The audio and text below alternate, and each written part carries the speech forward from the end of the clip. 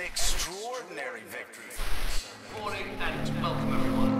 Anti-austerity protesters marching down the streets of Paris to a victory. What's the come of the next five years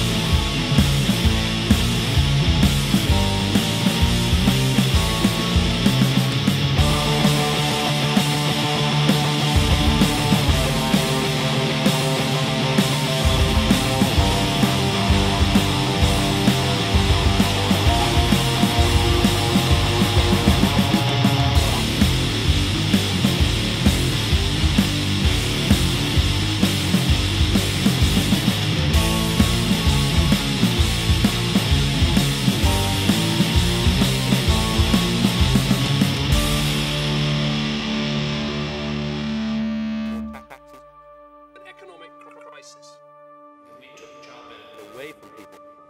Disability, living allowance is being replaced. Take up the risk with the economy.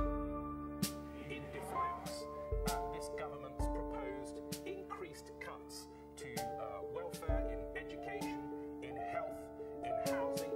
There's People here today who feel that they want to have a society that cares for all rather than take lectures about the need for further cuts in public spending.